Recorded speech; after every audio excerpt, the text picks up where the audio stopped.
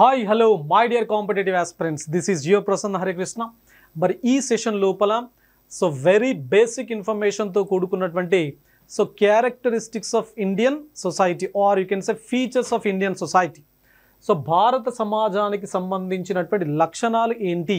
ఏ లక్షణాల ఆధారంగా భారత సమాజం అనేది నిర్మించబడుతుంది అనేది మనం ఈ సెషన్ లోపల డిస్కస్ చేద్దాం. రైట్ సో మరి ఇక్కడ మనం దీనికి లక్షణాల గురించి మనం మాట్లాడుకునే ముందు అసలు ఏంటి society? What is meant by society అసలు సమాజం అంటే ఏంటి అనేది మనం ఒక క్లారిటీ తీసుకునేటువంటి ప్రయత్నం చేద్దాం. రైట్ సో సొసైటీ అనేది బేసిక్గా ఇంగ్లీష్ వర్డ్ అండి ఇది.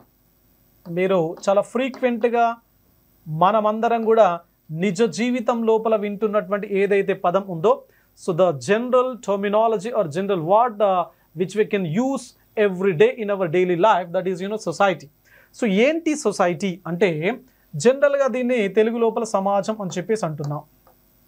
ఓకేనా మరి ఈ ఇంగ్లీష్ వర్డ్ ఏదైతే ఉందో సమాజం అనేటువంటి English word that is society అనేటువంటి English word is derived from the Latin word that is societas so ఇది ఎక్కడి నుంచి వచ్చిందంట?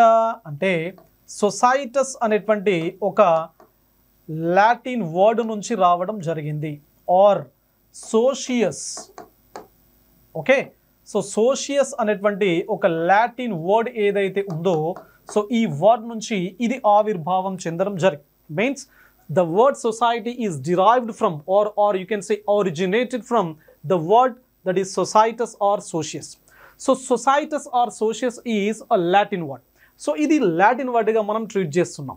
మరి ఏంటి ఈ సొసైటస్ ఆర్ సోషియస్ అనేటువంటి లాటిన్ పదానికి అర్థం అంటే so it means brother or you can say friend దీనికి అర్థం ఏంటి ఫ్రెండ్ లేదా బ్రదర్ అని చెప్పేసి అర్థం.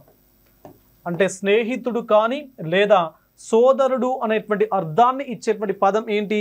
సొసైటస్ ఆర్ సోషియస్ అంటే అర్థం ఏంటి సమాజం లోపల ఉండేటువంటి చాలామంది వ్యక్తులు ఎవరైతే ఉన్నారో వాళ్ళందరి మధ్య లోపల ఎట్లాంటి రిలేషన్స్ ఉండాలి ఎట్లాంటి సంబంధ బాంధవ్యాలు ఉండాలి అని చెప్పేసి ఈ లాటిన్ వర్డ్ మనకు ఒక ఇన్ఫర్మేషన్ ఒక క్లారిటీ ఇవ్వడం జరుగుతూ ఉన్నది. అంటే ఫ్రెండ్స్ మాదిరిగా ఉండాలి లేదా బ్రదర్స్ మాదిరిగా ఉండాలి అనేది చెప్పడం జరుగుతుంది సమాజం లోపల ఉన్నటువంటి అందరి మధ్య లోపల ఉండేటువంటి సంబంధాలు.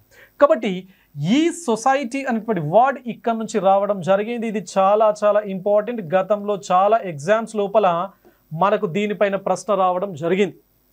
ఏ రకంగా అడగడం జరిగింది అంటే సొసైటీ అనేటువంటి పదం ఏ పదం నుంచి ఆవిర్భావం చెందింది అనేటువంటి ప్రశ్న. Society is derived or society is originated from a Latin word that is societas or you can say socius. మరి ఏంటి సోషియస్ లేదా సొసైటస్ అనేటువంటి పదానికి అర్థం అంటే societas means a brother or you can say friend. Okay? ఇది దీని యొక్క లిటరల్ మీనింగ్గా మీరు గుర్తుపెట్టుకునేటువంటి ప్రయత్నం చేయండి. రైట్ మరి ఇక్కడ మనం ఏ విధంగా డిఫైన్ చేయడం జరుగుతుంది సొసైటీని so how do we define society so దీన్ని ఏ విధంగా మనం నిర్వచిస్తాము? అంటే there are you know different kinds of definitions which are available చాలా రకాల శాస్త్రవేత్తలు చాలా రకాల సోషియాలజిస్టులు అదేవిధంగా యాంథ్రోపాలజిస్టులు చాలా రకాల డెఫినేషన్స్ ఇవ్వడం జరిగింది మనకి. బట్ మనకు నా అంటే కామన్ డెఫినేషన్ సొసైటీకి సంబంధించి మనం ఏ విధంగా చెప్పొచ్చు అంటే గుర్తుపెట్టుకోండి ఇవి చాలా చాలా importance there are two words one is సామాజిక సంస్థలు. ద ఫస్ట్ వర్డ్ ఈస్ సామాజిక సంస్థలు. That is sociological institutions okay so sociological institutions institutions రెండవ పదం ఏంటి అంటే సంస్కృతి కల్చర్ ఓకే? సో సంస్కృతి కల్చర్ సో ఈ రెండింటికి సంబంధించినటువంటి మిశ్రమమే. సో ఈ రెండు ఏవైతే ఉన్నాయో ఈ రెండు పదాలతో కూడుకున్నటువంటి ఒక దృగ్విషయం ఏదైతే ఉందో దాన్నే మనం ఏ విధంగా డిఫైన్ చేస్తాము అంటే సొసైటీ సమాజం అని చెప్పేసి అంటాం. అంటే అర్థం ఏంటి?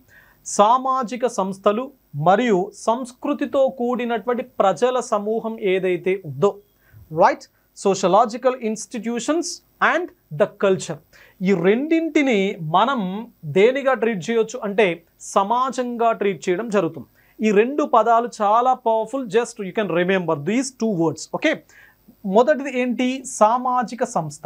ఇక్కడ సంస్థ అంటే it doesn't mean you know institution institution అంటే ఎడ్యుకేషనల్ ఇన్స్టిట్యూషన్ లేకపోతే ఏదైనా ప్రైవేట్ ఇన్స్టిట్యూషన్ గవర్నమెంట్ ఇన్స్టిట్యూషన్ ఇట్లా కాదు. ఇది ఏం ఏ సంస్థ అంటే ఇది? సామాజిక సంస్థ.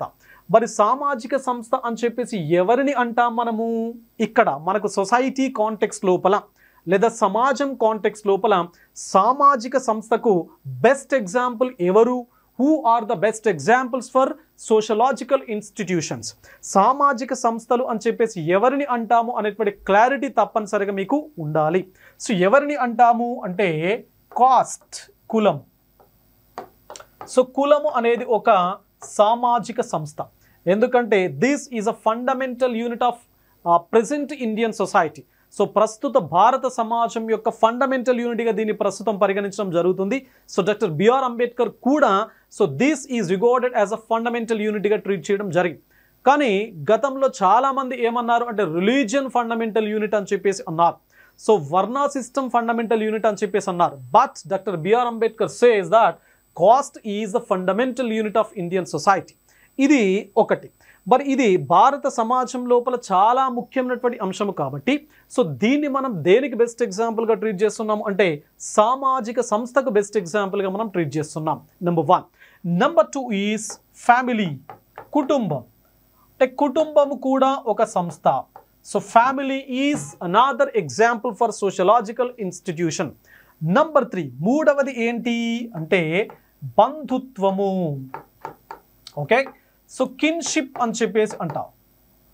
సో బంధుత్వం kinship is another example for sociological institution marriage so వివాహం. సో మ్యారేజ్ను కూడా మనం ఏ విధంగా ట్రీట్ చేయడం జరుగుతూ ఉంటుంది? అంటే సామాజిక సంస్థకు బెస్ట్ ఎగ్జాంపుల్గా మనం ట్రీట్ చేయడం జరుగుతుంది. రిలిజియన్ ఈజ్ అనాదర్ ఎగ్జాంపుల్ ఇట్లా చెప్పుకుంటూ వెళ్తే చాలా రకాల ఇన్స్టిట్యూషన్స్ ఇన్స్టిట్యూషన్ అంటే మళ్ళీ మనం చూసేటువంటి ఇన్స్టిట్యూషన్స్ కాదు. ఇక్కడ పర్టికులర్గా నేను చెప్తున్నాను. ఏం చెప్తున్నాను? సామాజిక సంస్థ అనేటువంటి పదాన్ని నేను పర్టికులర్గా వాడడం జరుగుతున్నది కాబట్టి సామాజిక సంస్థలకు బెస్ట్ ఎగ్జాంపుల్స్గా మనం ఎవరిని ట్రీట్ చేయొచ్చు? కాస్ట్ కులం ఫ్యామిలీ కుటుంబం కిన్షిప్ బంధుత్వం మ్యారేజ్ వివాహం రిలిజియన్ మతం. సో ఇవన్నీ కూడా మనకు ఇవి. దెన్ కల్చర్ అంటే ఏంటి మరి? కల్చర్ అంటే మనం ఎవ్రీ డే దీన్ని వాడుతూ ఉంటాం. సో ఎవ్రీ డే చాలా ఫ్రీక్వెంట్గా వాడుతూ ఉంటాం. సో కల్చర్ అనేది ఒక్కొక్క సమాజానికి ఒక్కొక్క విధంగా ఉంటుంది. ఫర్ ఎగ్జాంపుల్ హిందూ సొసైటీనే మీరు గమనించినట్లయితే హిందూ సొసైటీ లోపల ఉన్నటువంటి సామాజిక కట్టుబాట్లు ఆచార వ్యవహారాలు సాంప్రదాయాలు ఏవైతే ఉన్నాయో సో ట్రెడిషన్స్ ఏవైతే ఉన్నాయో కస్టమ్స్ ఏవైతే ఉన్నాయో ఇవి చాలా డిఫరెంట్గా ఉంటాయి. ఎవరితో కంపేర్ చేస్తే ఆ క్రిస్టియానిటీతో కంపేర్ చేసినా లేకపోతే Muslim that is you know ఇస్లాంతో compare చేసినా పార్సీస్తో కంపేర్ చేసిన జైనిజంతో కంపేర్ చేసిన బుద్ధిజంతో కంపేర్ చేసిన సో హిందూ కల్చర్ అనేది చాలా డిఫరెంట్గా ఉంటుంది. సో ఇస్లాం కల్చర్ చాలా డిఫరెంట్గా ఉంటుంది. దేంతో కంపేర్ చేస్తే ఇతర రిలీజియన్స్తో కంపేర్ చేసినట్లయితే. ఓకే ఈ మతాలు ఈ విధంగా ఉంటే మతాల లోపల ఉండేటువంటి కల్చర్స్ని మళ్ళీ ఒక అంటే చాలా దట్టమైనటువంటి అటవీ ప్రాంతాల లోపల నివసించేటువంటి ట్రైబల్ కల్చర్తో మీరు గనక ఒకసారి అనాలిసిస్ చేస్తే కంపేర్ చేసినట్లయితే so tribal culture is completely different from our culture so కాబట్టి ఇట్లా అంటే ఒక్కొక్క సమాజానికి ఒక్కొక్క సమూహానికి ఒక నిర్దిష్టమైనటువంటి కల్చర్ లేదా సంస్కృతి అనేది ఉంటుంది. సంస్కృతి అంటే ఏంటి? ఆచార వ్యవహారాలు కట్టుబాట్లు సాంప్రదాయాలు అన్నమాట. సో ఇది మరి ఇవి రెండింటితో కూడుకున్నటువంటి ప్రజల సమూహం ఏదైతే ఉందో సో దాన్నే మనం ఏమన్నాము? సమాజం అనేటువంటి పేరుతో పిలవడం జరుగుతుంది. మరి ఈ సమాజం ఏదైతే ఉందో ఈ సొసైటీ అనేటువంటి పదం ఏదైతే ఉందో సో దీన్ని మొట్టమొదటిసారిగా వాడినటువంటి శాస్త్రవేత్త ఎవరు అంటే ఆగస్ట్ కామ్టే రిమెంబర్. సో ఈ పదం పైన కూడా చాలా ఎగ్జామ్స్ లోపల మనకు క్వశ్చన్స్ అనేవి రావడం జరిగింది. Right? So August Comte so August Comte was the French philosopher so France దేశానికి సంబంధించినటువంటి ఒక తత్వవేత్త ఫ్రెంచ్ ఫిలాసఫర్గా మనం ట్రీట్ చేయడం జరుగుతూ ఉన్నది ఆగస్ట్ కామ్టే అనేటువంటి ఒక ఒక తత్వవేత్తను. మరి ఇతను మొట్టమొదటిసారిగా ఏ పదాన్ని వాడడం జరిగింది? సొసైటీ అనేటువంటి పదాన్ని వాడడం జరిగింది. మరి ఎప్పుడు వాడడం జరిగింది? ఇయర్ కూడా మీరు గుర్తుపెట్టుకోవాలి. You should remember the year as well so eighteen thirty eight ఏ సంవత్సరము? ఎయిటీన్ థర్టీ ఎయిట్ లోపల ఆగస్ట్ కామ్టే అనేటువంటి ఒక French philosopher or you know France దేశానికి సంబంధించినటువంటి ఒక తత్వవేత్త ఈ పదాన్ని మొట్టమొదటిసారిగా వాడడం జరిగింది. క్లియర్ మరి ఇతను జనరల్గా ఇతను ఇతని యొక్క కంట్రిబ్యూషన్ అనేది చాలా చాలా పవర్ఫుల్ ఎందుకు చాలా చాలా పవర్ఫుల్ అని చెప్పేసి అంటున్నాను అంటే he contributed a lot in the field of sociology sociology means sociology is a branch which deals with the society so ఇక్కడ సమాజం లేదా సొసైటీ గురించి చదివే శాస్త్రాన్ని మనం ఏ విధంగా ట్రీట్ చేయొచ్చు? అంటే సోషియాలజీ ఓకేనా సమాజ శాస్త్రం అనేటువంటి పేరుతో మనం పిలుస్తుంటాం. జనరల్గా ప్రతి అంశాన్ని చదివే శాస్త్రాలు ఉంటాయి మనకు. సో ప్రతి అంశాన్ని మ్యాక్సిమం అంటే కెమికల్స్ గురించి కెమిస్ట్రీ అని చెప్పేసి అంటారు. ఇట్లా చాలా రకాల అంశాల గురించి చాలా రకాల అధ్యయన శాస్త్రాలు. అంటే వాటికి సంబంధించినటువంటి branches or scientific you know studies ఉంటాయి. మరి ఇక్కడ సమాజం గురించి చదివే శాస్త్రాన్ని సింపుల్గా మనం ఏ విధంగా ట్రీట్ చేయొచ్చు అంటే సోషియాలజీ అనేటువంటి పేరుతో మనం పిలవడం జరుగుతున్నది. మరి ఈ సోషియాలజీ లోపల అత్యధికంగా కంట్రిబ్యూట్ చేసినటువంటి వ్యక్తి ఎవరు? ఆగస్ట్ కామ్టే అని చెప్పేసే ఒక శాస్త్రవేత్త. రైట్ మరి ఇతను a general view of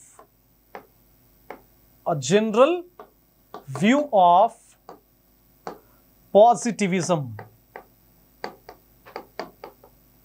positivism okay so ఆ జనరల్ వ్యూ ఆఫ్ పాజిటివిజం అనేటువంటి ఒక పుస్తకాన్ని రాయడం జరిగింది. దీని లోపల కంప్లీట్గా సొసైటీకి సంబంధించినటువంటి ఇన్ఫర్మేషన్ను ఇవ్వడం జరిగింది.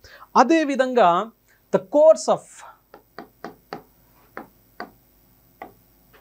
the course of positive philosophy.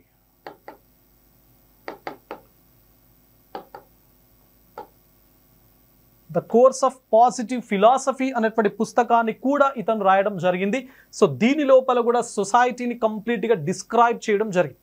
అంటే ఈ రెండు పుస్తకాలతో పాటు ఇంకా ఏం చెప్పాడు ఇతను అంటే ఏదైనా ఒక ప్రదేశం లోపల అంటే ఏదైనా తీసుకోండి దేశం కావచ్చు ప్రాంతం కావచ్చు ఏదైనా కావచ్చు ఒక ప్రదేశం లోపల సొసైటీ బిల్డ్ కావాలి అంటే సమాజం నిర్మించబడాలి అంటే మూడు రకాల దశల ద్వారా మాత్రమే ఒక ప్రదేశం లోపల లేదా ఒక వ్యవస్థ లోపల సమాజం నిర్మించబడుతుంది అని చెప్పేసి ఒక వ్యూను ఇతను తీసుకురావడం జరిగింది. సో ఇక్కడ ఏంటి ఆ మూడు దశలు? Just remember. నేను చెప్తున్నాను చూడండి ఆ మూడు దశలు ఏంటి అంటే నెంబర్ వన్ మొట్టమొదటి మొదటి అంశం ఏంటి అంటే థియోసాఫికల్ సో వేదాంతపరమైనటువంటి దశలు ఉంటాయి. ఓకే? వేదాంతపరమైనటువంటి దశలు theosophical phases number two metaphysical phases so అధిభౌతిక దశలు అని చెప్పేసి ఉంటా. వీటి యొక్క డిస్క్రిప్షన్ మీకు ఏం అవసరం లేదు కాంపిటేటివ్ ఎగ్జామ్స్ లోపల. Just remember these three phases మూడవది సైంటిఫిక్ సో శాస్త్రీయ పరమైనటువంటి దశలు ఉంటాయి ఓకే? సో ఈ మూడు దశలు ఒక సమాజం యొక్క ఏర్పాటు లోపల ఒక సమాజం యొక్క నిర్మాణం లోపల చాలా కీలకమైనటువంటి పాత్రను పోషించడం జరుగుతుంది అని చెప్పేసి మనకిక్కడ ఆగస్ట్ కామ్టే చెప్పడం జరిగింది. క్లియర్? మరి ఏంటి థియోసాఫికల్ వేదాంతపరమైనటువంటి అంశాలు అంటే ఏంటి? సో బిలీఫ్ ఇన్ గాడ్స్ దేవుడిని నమ్మడం అనేది దేని కిందికి రావడం జరుగుతుంది అంటే థియోసాఫికల్ కాన్సెప్ట్స్ కిందికి రావడం జరుగుతుంది కొన్ని రకాల సమాజాలు ఉంటాయి ఆ సమాజాలు ఎక్కువ మొత్తం లోపల దేవుని పూజలు చేయడం దేవుని నమ్మడం అనేటువంటి ఆ అంశం ఆధారంగా నిర్మించబడతా సో ఇది మొదటిది. రెండవది మెటాఫిజికల్ అంటే ఇది అబ్స్ట్రాక్ట్ కాన్సెప్ట్స్ ఏవైతే ఉన్నాయో. రైట్ సో అబ్స్ట్రాక్ట్ కాన్సెప్ట్స్ను ఆధారంగా చేసుకొని సమాజం కనుక ఏర్పాటైనట్లయితే ఆ దశను మనం ఏమంటాము అంటే మెటాఫిజికల్ అని చెప్పేసి పేరుతో పిలుస్తూ ఉంటాం. నెక్స్ట్ నెంబర్ త్రీ ఈ scientific complete scientific evidences procedures methods ఏవైతే ఉన్నాయో సైన్స్ యొక్క మెథడ్స్ ప్రొసీజర్స్ ప్రిన్సిపల్స్ ఆధారంగా కొన్ని రకాల సమాజాలు ఏర్పడతా ఉంటాయి. ఇప్పుడు అడ్వాన్స్డ్ నేషన్స్ ఏవైతే ఉన్నాయో లైక్ అమెరికా కానీ యూరోపియన్ యూనియన్కి సంబంధించినటువంటి చాలా దేశాలు ఇక్కడ సైంటిఫిక్ దశకు సంబంధించినటువంటి వెరీ గుడ్ ఎగ్జాంపుల్స్గా మనం ట్రీట్ చేయడం జరుగుతూ ఉంటుంది. కాబట్టి సో ఇక్కడ ఆగస్ట్ కామ్టే ప్రకారము మనకు మూడు దశలు ఏవైతే ఉన్నాయో ఒకటి థియోటో theosophical the second one is metaphysical and the third one is scientific ఈ మూడు దశల్లో మనకు ఏదైనా ఒక ప్రదేశం లోపల సమాజం అనేది నిర్మించబడుతున్నది అని చెప్పేసి ఇతను చెప్పడం జరిగింది. కాబట్టి ఇట్లాంటి కంట్రిబ్యూషన్స్ ఏవైతే ఉన్నాయో ఆగస్ట్ కామ్టేకి సంబంధించి ఉన్నాయి కాబట్టి so August Comte is regarded as a father of sociology so ఇతన్ని మనం ఏ విధంగా ట్రీట్ చేయడం జరుగుతుంది అంటే father of sociology okay so father of sociology సమా సమాజ శాస్త్రానికి పితామహునిగా ఎవరిని పిలవడం జరుగుతూ ఉంటుంది అంటే ఆగస్ట్ కాంచేను పిలవడం జరుగుతూ ఉంటుంది. రిమెంబర్ మరి భారతదేశం లోపల కూడా మనకు ఒక శాస్త్రవేత్త ఒక philosopher as well as the sociologist ఉన్నాడు భారతదేశం లోపల కూడా. సో ఎవరు అతను అంటే జిఎస్ ఘరియే ఎవరతను? G S Ghurye right so G S Ghurye Govind Sadashiv Ghurye. So G S Ghurye అనేటువంటి ఈ philosopher as well as the sociologist ఎవరైతే ఉన్నారో సో ఇతన్ని మనం ఏ విధంగా ట్రీట్ చేస్తాము అంటే father of Indian sociology father of Indian sociology so భారత సమాజ శాస్త్రానికి పితామహునిగా ఎవరిని పిలవడం జరుగుతూ ఉంటుంది అంటే జిఎస్ ఘరియే అనేటువంటి వ్యక్తిని పిలవడం జరుగుతుంది. గుర్తుపెట్టుకోవాలి. మరి ఇతను నైన్టీన్ ఫిఫ్టీ టూ లోపల మొట్టమొదటిసారిగా ఇండియన్ సోషలాజికల్ సొసైటీ అనేటువంటి ఒక ప్రత్యేకమైనటువంటి ఆర్గనైజేషన్ ఎస్టాబ్లిష్ చేయడం జరిగింది. అంటే భారతదేశం లోపల సమాజ శాస్త్రం లోపల అత్యధిక మొత్తం లోపల రీసెర్చ్ చేయడానికి సమాజ శాస్త్రానికి సంబంధించినటువంటి కాన్సెప్ట్స్ను ప్రజలకు అర్థం చేయించేటువంటి ప్రయత్నంలో భాగంగా నైన్టీన్ ఫిఫ్టీ టూ లోపల he established a institution called Indian sociological society and he acted as or he ఈ worked as an editor for sociological bulletin so ఇతను సోషలాజికల్ బులెటిన్ అని చెప్పేసి ఒక జర్నల్ ఉంటుంది. ఓకేనా?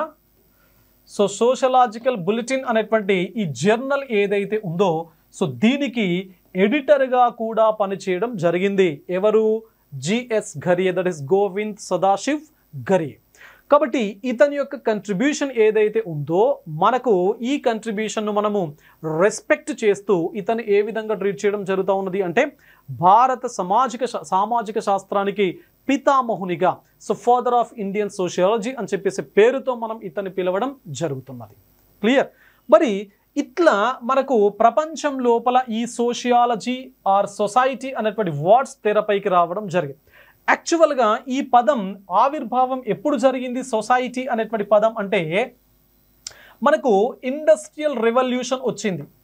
Everybody knows this so industrial revolution అంటే పారిశ్రామిక విప్లవం వచ్చింది.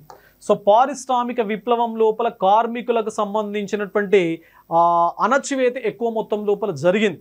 సో ఆ విధంగా సమాజం అనేటువంటి సొసైటీ అనేటువంటి వర్డ్ తెరపైకి రావడం జరిగింది seventeen eighty to eighteen twenty. So ఈ టైం పీరియడ్ లోపల ఇండస్ట్రియల్ రెవల్యూషన్లో భాగంగా ఈ సమాజం సొసైటీ అనేటువంటి పదం అనేది తెరపైకి రావడం జరిగింది. అదేవిధంగా ఫ్రెంచ్ రెవల్యూషన్ సో ఫ్రెంచ్ విప్లవం సో ఇది చాలా చాలా ప్రపంచాన్ని ప్రభావితం చేసినటువంటి రెవల్యూషన్ ఇది ఫ్రెంచ్ రెవల్యూషన్ సో ఇది జనరల్గా సెవెంటీన్ ఎయిటీ నైన్ రైట్ మరి ఈ సమయం లోపల కూడా సొసైటీ అనేటువంటి వర్డ్ని ఎక్కువ మొత్తం లోపల యూజ్ చేయడం జరిగింది. కానీ అఫీషియల్గా టెక్నికల్గా ఈ సొసైటీ అనేటువంటి పదం ఏ దేశం లోపల ఆవిర్భావం చెందడం జరిగింది అంటే USA. So eighteen seventy six గుర్తుపెట్టుకోండి. Okay? So eighteen seventy six సంవత్సరం లోపల యునైటెడ్ స్టేట్స్ ఆఫ్ అమెరికా దేశం లోపల అఫీషియల్గా అధికారికంగా ఈ సొసైటీ అనేటువంటి పదాన్ని మొట్టమొదటిసారిగా వాడడం జరిగింది. ఓకే? సో ఇది మరి జనరల్గా దీనికి సంబంధించినటువంటి బేసిక్ ఇంట్రొడక్షన్. మరి ఈ సొసైటీ పైన ఇంతకుముందే నేను చెప్పాను సొసైటీ పైన చాలా రకాల we have you know lot many definitions to the society but కొన్ని రకాల డెఫినేషన్స్ మనకు కాంపిటేటివ్ ఎగ్జామినేషన్స్ లోపల చాలా చాలా ఇంపార్టెంట్ మనకు ఒక నాలుగు డెఫినేషన్స్ ఉన్నాయి. So professor Wright professor Giddings professor MacIver and LaPiere so ఈ నలుగురు ఇచ్చినటువంటి డెఫినేషన్స్ లేపియా మెకైవా రాయిట్స్ అండ్ గిడింగ్స్ ఓకే మరి ఈ నాలుగు డెఫినేషన్స్ మీకు ఇక్కడ డిస్ప్లే చేస్తున్నాను. జస్ట్ హ్యావ్ ఎ లుక్ ఒకసారి మీరు గమనించండి.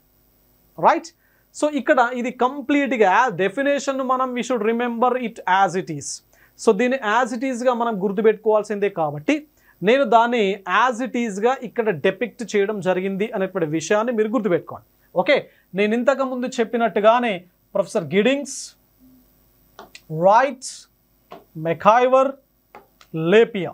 Okay? So ఈ నలుగురికి సంబంధించినటువంటి డెఫినేషన్స్ మీరు గుర్తుంచుకునే ప్రయత్నం చేయండి. నేను ఇక్కడ చదువుతాను. జస్ట్ మీకు you can have it in in our book మనకు బుక్ పుస్తకం లోపల కూడా ఉన్నాయి. జస్ట్ ఒకసారి మీరు చూడండి.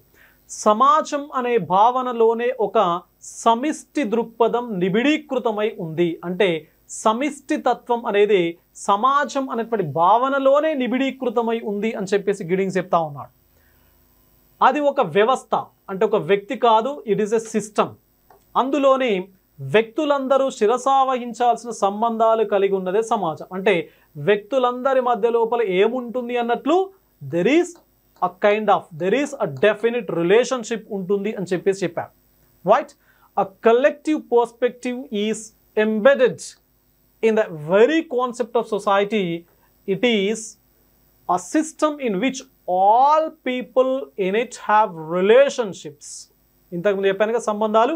So relationships in we to which they must heed so this is a definition which is given given by the Giddings so Giddings యొక్క definition ఇట్లా ఉన్నది. Then come to the second one professor Wright సముదాయంలోని వ్యక్తుల మధ్య గల మధ్య నెలకొన్న సంబంధాల వ్యవస్థ. ఇతను కూడా ఏ పదాన్ని వాడాడు? సంబంధాలు రిలేషన్షిప్స్ అనేవి చాలా చాలా చాలా importants right relationship then MacIver this is a beautiful and accepted and approved definition by all the philosophers, sociologists and anthropologists. So ఇది చాలా చాలా ఇంపార్టెంట్ మెకాయివర్ యొక్క డెఫినేషన్ సో మెకాయివర్ తన యొక్క డెఫినేషన్ను ఒక పుస్తకం లోపల చాలా క్లియర్గా వివరించడం జరిగింది. ఈ పుస్తకాన్ని తప్పనిసరిగా మీరు అందరు గుర్తుపెట్టుకోవాలి. దీని యొక్క పేరును తప్పనిసరిగా మీరు అందరు గుర్తుపెట్టుకోవాలి that is you know this society so MacIver wrote a book named society so this society అనేటువంటి పేరుతో ఒక పుస్తకాన్ని రాయడం జరిగింది మెకాయివర్ అని చెప్పేసి ఒక శాస్త్రవేత్త. మరి ఇతను ఏమన్నాడు అంటే వెబ్ ఆఫ్ సోషల్ రిలేషన్షిప్స్ అని చెప్పేసి అన్నాడు. రైట్ సో ఇక్కడ society is web of social relationships ఇది చాలా చాలా powerful okay society is nothing but a web of social relationships ఏమన్నాడు? సమాజం అంటే సామాజిక సంబంధాలను వాటి అల్లికలను గురించి చదివే శాస్త్రమే సోషియాలజీ అన్నాడు. ఓకే సామాజిక సంబంధాలు వాటి యొక్క అల్లికలు అంటే వెబ్ సో దీన్ని గురించి చదివితే అదేంటట? సోషియాలజీ అనేటువంటి ఆ డెఫినేషన్ను ఇవ్వడం జరిగింది మెకైవర్ ఓకే దెన్ లేపియర్. సమాజం అంటే కేవలం కొంతమంది వ్యక్తులతో కూడిన సమూహము కాదు వారి మధ్య నిరంతరం నెలకొని ఉండే పరస్పర చర్యల సంక్లిష్ట రూపం. పరస్పర చర్యలు అంటే అర్థం ఏంటి? So society is not a person అదేంటి? ఒక సంక్లిష్ట రూపం ఒక కాంప్లెక్స్ ఒక కాంప్లెక్స్ సిస్టమ్గా ఇతను ట్రీట్ చేయడం జరిగింది. వా ఒక సమాజం లోపల ఉండేటువంటి వ్యక్తుల మధ్య లోపల ఎప్పటికప్పుడు సంబంధాలు ఉంటాయి రిలేషన్స్ ఉంటాయి ఇంటరాక్షన్స్ ఉంటాయి అని చెప్పేసి మనకు లేపియర్ అనేటువంటి ఆ శాస్త్రవేత్త తన యొక్క డెఫినేషన్ రూపం లోపల మనకి ఇన్ఫర్మేషన్ ఇవ్వడం జరిగింది clear. So this is all about you know definition to the society as well as the sociology. Clear? మరి ఇప్పుడు ఇండియన్ కాంటెక్స్ లోపల మనకు ఈ సమాజం అనేటువంటి కాన్సెప్టు ఏ విధంగా తెరపైకి వచ్చింది అనేది మనం డిస్కస్ చేద్దాం. సింపుల్ అండ్ చిన్న కాన్సెప్ట్ మనకి ఇక్కడ ఉన్నది చూడండి. భారత సమాజం చారిత్రక నేపథ్యం. ఓకే? భారత సమాజం చారిత్రక నేపథ్యం. Indian society and its historical background. So భారత సమాజం లోపల ఏ విధంగా బా ఏ విధంగా మార్పులు పరివర్తనలు లేకపోతే ఆవిర్భావాలు జరిగాయి అనేది చూద్దాం. సో యాక్చువల్గా ఈ వర్డ్ని మనకు డాక్యుమెంటల్ ఎవిడెన్స్ లోపల third century okay so third century BC నుంచి ఈ సొసైటీ అనేటువంటి వర్డ్ని అఫీషియల్గా డాక్యుమెంట్స్ లోపల యూజ్ చేయడం స్టార్ట్ కావడం జరిగింది. మరి ఇక్కడ మనకు కొన్ని రకాల ఎగ్జాంపుల్స్ ఉన్నాయి గతం లోపల. గతం లోపల ఉన్నటువంటి ఎగ్జాంపుల్స్ ఏంటి? అక్కడ మీకు ఇమేజ్ ఏం ఏం కనబడతా ఉందంటే మెగస్థీన్స్ ఓకే? సో మెగస్థీన్స్ అని చెప్పేసి ఒక వ్యక్తి మీకు చాలా ఫ్రీక్వెంట్గా హిస్టరీ లోపల కనబడతా ఉంటాం. సో మనం జనరల్గా మెగస్తనీస్ అనేటువంటి పదాన్ని వాడుతూ ఉంటాం. సో ఈస్ మెగస్థీన్స్ సో ఈ మెగస్థీన్స్కి సంబంధించిన ఇన్ఫర్మేషన్ అతను సమాజం గురించి ఏం మాట్లాడారు అనేది number one number two Abul Fazal right so Abul Fazal so ఇతను ఏం మాట్లాడాడు అదేవిధంగా సో డ్వాట్ బాబోజా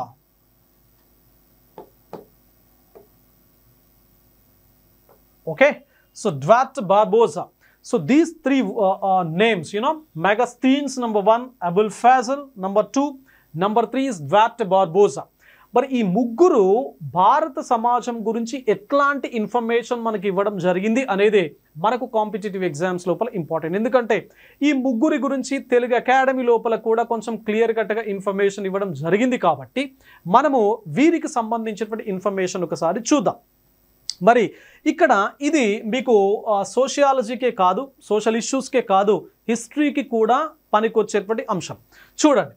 సో మ్యాగస్తీన్స్ మరి ఇతను ఏమన్నాడు? అని మీరు చూసినట్లయితే he wrote a book named Indica ఇతను ఒక పుస్తకం రాయడం జరిగింది. దాని పేరు ఏంటి అంటే ఇండికా సో ఇది చాలా ఎగ్జామ్స్ లోపల మనకు ప్రశ్నల రూపం లోపల రావడం జరుగుతూ ఉంటుంది. Indica so Mauryan dynasty Maurya సామ్రాజ్యానికి సంబంధించినటువంటి కంప్లీట్ ఇన్ఫర్మేషన్ మనకు ఈ పుస్తకం లోపల కనబడుతుంది. అదేవిధంగా సో మెగస్థీన్స్ ఇతను గ్రీక్ హిస్టోరియన్ uh, ఇతను గ్రీక్ దేశానికి సంబంధించినటువంటి చరిత్రకారుడు ఇతను. So he visited India during Mauryan empire so Mauryan empire period లోపల ఇతను భారతదేశం లోపలికి రావడం జరిగింది. సో వచ్చి ఈ పుస్తకం రాశాడు. మరి ఈ పుస్తకం ఏం చెప్తుంది అంటే మౌర్య సామ్రాజ్యం లోపల ఉండేటువంటి సొసైటీ ఏదైతే ఉందో లేదా ఓవరాల్గా ఇండియన్ సొసైటీ లోపల సెవెన్ క్లాసెస్ ఏడు వర్గాలు కొన్ని పుస్తకాల లోపల సెవెన్ కాస్ ఏడు కులాలుగా. రైట్ సో ఏడు వర్గాలు లేదా ఏడు కులాలు ఉన్నాయి అని చెప్పేసేటువంటి ఒక డిస్క్రిప్షన్ ఇవ్వడం జరిగింది. మెగస్తీన్స్ ఏ పుస్తకం లోపల? ఇండికా అనేటువంటి పుస్తకం లోపల రైట్ మరి ఏంటి ఆ ఏడు క్లాసెస్ ఆర్ ఏడు కాస్ట్లు ఏంటి ఏడు వర్గాలు ఏంటి అనేది మీరు చూసినట్లయితే ఇవి వీటిపైన మనకు గతం లోపల చాలా ఎగ్జామ్స్ లోపల ప్రశ్నలు అడగడం జరిగింది. ఇక్కడ ఇప్పుడు చెప్పే ఏడింటి పైన కూడా ప్రశ్నలు వచ్చాయి. చూడండి. కాబట్టి ఈ ఏడింటిని కూడా తప్పనిసరిగా everybody should remember all these seven words clear number one మొదటి అంశం ఏంటి అంటే ఫిలాసఫర్స్ ఓకే సో ఫిలాసఫర్స్ అంటే తత్వవేత్తలు. ఓకే సో తత్వవేత్తలు అనేది ఒక వర్గం. Number two councillors and ministers okay? అంటే మంత్రులు సలహాదారులు. అంటే రాజుకు సలహాలు ఇచ్చే వ్యక్తులు ఎవరైతే ఉంటారో సో వాళ్ళు రెండవ లేయర్గా ఉన్నారు. సో అప్పర్ లేయర్ లోపల ఎవరున్నారు? కొంచెం మేధో సంపత్తి కలిగినటువంటి ఫిలాసఫర్స్ అప్పర్ లేయర్ లోపల ఉన్నారు. But intellectuals or philosopher number చాలా తక్కువగా ఉంటుంది ఏ సొసైటీలోనే సో ప్రస్తుత భారత సొసైటీ లోపల అందరూ ఇంటెలెక్చువల్స్ కాదు కదా అందరూ ఫిలాసఫర్స్ కాదు కదా కొంతమంది మాత్రమే ఉంటారు కాబట్టి అప్పుడు కూడా వీళ్ళ యొక్క పర్సంటేజ్ వీళ్ళ యొక్క నెంబర్ చాలా తక్కువ. But they occupy upper layer upper layer లోపల ఉన్నారు. Then second one is councillors and ministers then number three soldiers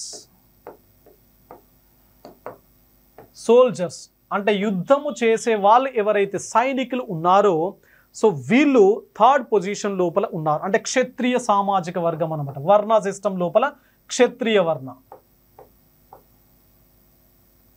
Kshatriyas. Okay? Number four నాలుగవ లేయర్ ఏదైతే ఉందో ఈ నాలుగవ లేయర్ లోపల so overseers right so overseers ఉన్నారు. అంటే ఎవరు? Just like inspectors the inspect something అన్నమాట. ఓకేనా? వీళ్ళు తనిఖీ చేసే వాళ్ళు ఇన్స్పెక్ట్ చేసే వాళ్ళు ఎవరైతే ఉంటారో సో వీళ్ళను మనం ఇన్స్పెక్టర్స్ ఆర్ ఓవర్సీఎస్ తనిఖీదారులు అనేటువంటి పేరుతో మనము పిలుస్తాం. కాబట్టి వీళ్ళు తనిఖీదారులు అన్నమాట. ది నెంబర్ ఫైవ్ ఐదవ వరుస లోపల ఫిఫ్త్ లేయర్ లోపల ఎవరున్నారు అంటే కల్టివేటర్స్ కల్టివేటర్స్ అంటే సాగుదారులు. లేదా బ్రాడర్ స్పెక్ట్రమ్ లోపల మనం ఎవరిని చెప్పుకోవచ్చు? వ్యవసాయదారులు.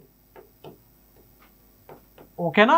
సో వ్యవసాయదారులు ఎవరైతే ఉన్నారో సో వీళ్ళు they occupy the fifth layer అన్నమాట. దెన్ నెంబర్ సిక్స్ ఆరవ లేయర్ ఏదైతే ఉందో ఇక్కడ artisans so artisans and traders okay so చేతి వృత్తుల వాళ్ళు మరియు వ్యాపారస్తులు. ఓకేనా? సో గ్రామీణ ప్రాంతాల లోపల వివిధ రకాల కళారూపాలను ఆర్ట్ ఫామ్స్ను అంటే అల్లికలు కుట్లు ఇట్లాంటి ఆర్టిజాన్స్ ఎవరైతే ఉన్నారో వీళ్ళు అదేవిధంగా వ్యాపారం చేసే వాళ్ళు ఎవరైతే ఉన్నారో ట్రేడింగ్ కమ్యూనిటీ ఏదైతే ఉందో సో వీళ్ళు ఆ సిక్స్త్ పొజిషన్ లోపల ఉన్నారు. అంటే వీళ్ళను జనరల్గా మనం ఏ విధంగా ట్రీట్ చేయొచ్చు అంటే వీళ్ళిద్దరిని వైశ్య సామాజిక వర్గం దట్ ఈస్ అప్పటి కాలం లోపల వైశ్య వర్ణానికి బెస్ట్ ఎగ్జాంపుల్గా మనం ట్రీట్ చేయొచ్చు.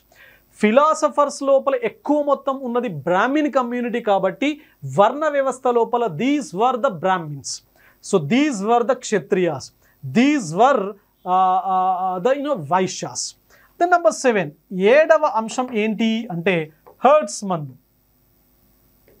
okay so herdsmen and hunters okay. So పశువుల మేత వాళ్ళు అంటే పశువులను ఒక ప్రదేశం నుంచి మరొక ప్రదేశానికి గొర్రెలు మేకలను ఒక ప్రదేశం నుంచి మరొక ప్రదేశానికి తీసుకెళ్ళి మేత కోసం తీసుకెళ్ళే వ్యక్తుల ఏ- ఏదైతే సమూహం ఉందో దట్ ఈస్ హర్ట్స్మన్ అని చెప్పేసి అంటున్నాం.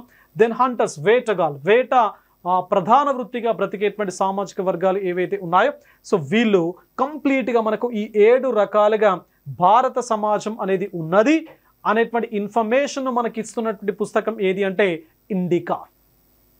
ఎవరు రాశారు? Megasthenes clear. మరి ఇది ఈ ఏడింటి పైన మనకు గతం లోపల ప్రశ్నలు వచ్చాయి. సో ఈ క్రింది వాన్ లోపల మెగస్తీన్స్ పేర్కొన్నటువంటి సామాజిక వర్గం ఏంటి అని చెప్పేసి లేదా ఇండికా లోపల తెలపనటువంటి సామాజిక వర్గం ఏంటి అని చెప్పేసి లేదా మౌర్యన్ డైనాస్టీ లేదా మౌర్యన్ ఎంపైర్ లోపల పేర్కొన్నటువంటి పేర్కొన్నటువంటి సామాజిక వర్గం ఏంటి అని చెప్పేసి క్లియర్ సో ఇట్లా మీరు ఈ ఏడింటిని కూడా తప్పనిసరిగా గుర్తుపెట్టుకునేటువంటి ప్రయత్నం చేయండి. Try to remember all the seven words so which were mentioned in the book named Indica okay then come to the second one Abul Fazl so Abul Fazl ఇతను కూడా ఒక పుస్తకం రాయడం జరిగింది. That book name is Ain e Akbar ఇతను రాసిన పుస్తకం ఏంటి? సో ఐన్ ఈ అక్బరీ సో యాన్ ఈ అక్బరీ. సో ఇది జనరల్గా అక్బరీ అక్బర్ అంటేనే మొఘల్ డైనాసిటీ. సో మొఘల్ సామ్రాజ్యం ఏదైతే ఉందో సో మొఘాల్ ఎంపైర్ ఏదైతే ఉందో సో దీనికి సంబంధించినటువంటి ఆ ఆ సామ్రాజ్యం లోపల మొఘాల్ ఎంపైర్ లోపల హిందూ మతం యొక్క వ్యవస్థాపన ఏ విధంగా ఉంది? ఓకే? రైట్? సో హిందూ రిలీజియన్కు సంబంధించినటువంటి ఆర్గనైజేషన్ ఏ విధంగా ఉంది? అదేవిధంగా కిన్షిప్ ఆర్గనైజేషన్ ఏ విధంగా ఉంది? అంటే బంధుత్వం. సో మొఘల్ డైనాసిటీ లోపల లేదా మొఘల్ ఎంపైర్ లోపల బంధుత్వానికి సంబంధించినటువంటి వ్యవస్థాపన హిందూ సామాజిక వ్యవస్థాపన ఏ విధంగా ఉన్నది అనేటువంటి ఈ రెండు విషయాలను చాలా క్లియర్ కట్గా ఎక్స్ప్లెయిన్ చేసినటువంటి పుస్తకం ఏంటి అంటే ఐన్ ఈ అక్బరీ అని చెప్పేసి. Okay? Wrote by Abul Fazl. Then come to the third one. So Duarte Barbosa. So డ్వాటే Barbosa was a Portuguese writer so ఇతను బేసిక్గా పోర్చుగీస్ దేశానికి సంబంధించినటువంటి రచయిత పోర్చుగీస్ రైటర్ మరి ఇతను ఏం చెప్పాడు అంటే భారత సమాజం యొక్క సాంస్కృతిక లక్షణాలను గురించి వివరించాడు. ఓకేనా? So cultural features so cultural features of Indian society సాంస్కృతిక లక్షణాలు ఏవైతే ఉన్నాయో భారత సమాజానికి సంబంధించి అంటే ఎట్లాంటి సాంస్కృతిక లక్షణాల ఆధారంగా భారత సమాజం నిర్మించబడి ఉన్నది భారతదేశం లోపల విభిన్న ప్రాంతాల లోపల ఎట్లాంటి సాంస్కృతి సంస్కృతి అనేది ఉన్నది? కల్చర్ ఏ విధంగా ఉన్నది అనేటువంటి అంశంతో కూడినటువంటి కంప్లీట్ ఇన్ఫర్మేషన్ ఇచ్చినటువంటి వ్యక్తి ఎవరు అంటే సో మనకు డ్వాట్ బార్బోజా అనేటువంటి వ్యక్తి. కాబట్టి ఈ ముగ్గురు మనకు ఇండియన్ సొసైటీకి సంబంధించినటువంటి హిస్టారికల్ బ్యాక్గ్రౌండ్ లోపల మనము గుర్తుంచుకోవాల్సినటువంటి పర్సన్స్ అన్నమాట. Okay? So this is about you know introduction to the Indian society as well as the society మరి రేపటి సెషన్ లోపల మనకు నెక్స్ట్ సెషన్ లోపల ఫీచర్స్ ఆఫ్ ఇండియన్ సొసైటీ భారత సమాజం యొక్క లక్షణాలు ఎట్లా ఉంటాయి? So we have nine features మనకు తొమ్మిది లక్షణాలు ఉన్నాయి భారత సమాజానికి సంబంధించి. మరి ఆ తొమ్మిది లక్షణాలకు సంబంధించినటువంటి ఇన్ఫర్మేషన్ను మనం నెక్స్ట్ సెషన్ లోపల డిస్కస్ చేద్దాం. Right so thank you one and all